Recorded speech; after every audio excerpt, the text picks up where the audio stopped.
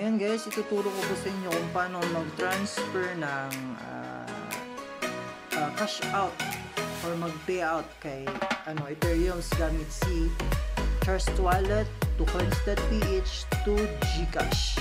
So, una is um, kukunin lang natin yung uh, wallet address ng Ethereum Coins.ph. So, click lang natin sa receive. Show my ETH wallet address. Then, copy. Copy wallet address. Ganun lang po. So, pag na-copy natin, balik ulit tayo kay Trust Wallet. Then, click natin si Ethereum. So, send. So, since na-copy na natin yung ano, wallet address kay uh, coins.ph, so, directly paste lang natin yan. So, check lang natin kung tama yung last digit. Kung tama naman, is kung gusto nating ubusin natin yung pera natin sa Ethereum sa Trust Wallet, pwede natin i-max. So, okay na may nakakalaman yung pera, continue lang natin. So, i-confirm lang natin yung transaction.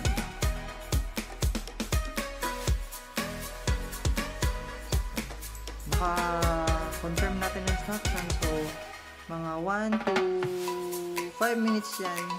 Saka yan mag-send yung pending transaction na nakalagay dito. Yung recent transaction na ginawa natin. So antay lang natin siya na mag-send. So ganun lang. Scroll lang pababa para ma-refresh yung ano natin app natin.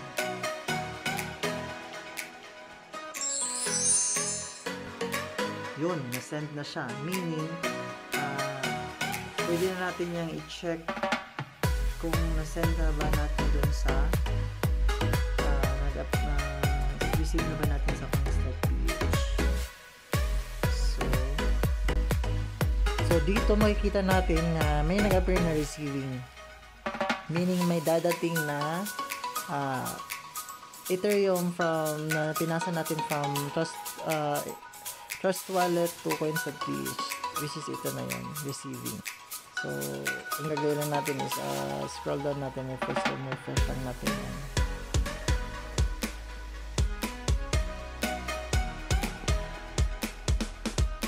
So, mga about 1 to 5 minutes din yung ang aantayin natin para mag uh, successful or ma-receive talaga natin at magkaroon ng pera dito or Ethereum yung ano natin yung concept page natin na pinasa from first wallet ayun pumasok na yung pera na transfer natin from coins.ph ay from trust wallet to coins.ph ang gagawin lang natin is i-convert natin yung pera na na-receive natin from coins.ph to so once na kung na plano natin is i-change natin to peso.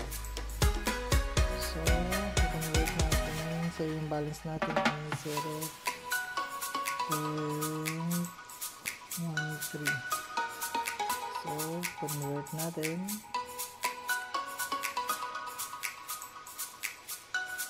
Ang gagawin na matapos na tayo mag-convert from ATH to peso.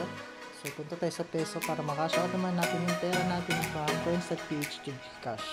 So, ang gagawin natin is i-click lang natin yung cash out. So, convert natin yung cash out. Punta tayo sa e-wallets and click natin yung Gcash. So, nga pala guys is ang minimum uh, transfer amount ng coins.ph to Gcash is 50 pesos. So, dapat above yung minimum balance mo. So, type natin 100 pesos. So, click natin yung next. So, lalagay natin yung account na uh, name natin sa Gcash.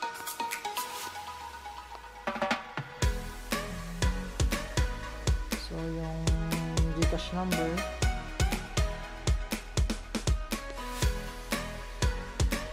Tapos yung mobile number. Yung pagsisenda natin.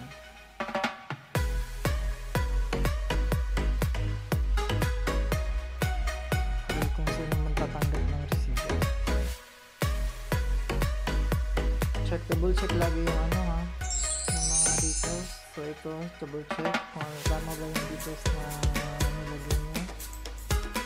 Tama naman. So, click slide to pay. Then, pupunta tayo sa email, ano natin, para sa verification code. Yun, dumating na. So, ito. 982134. 982134. 982134. Submit.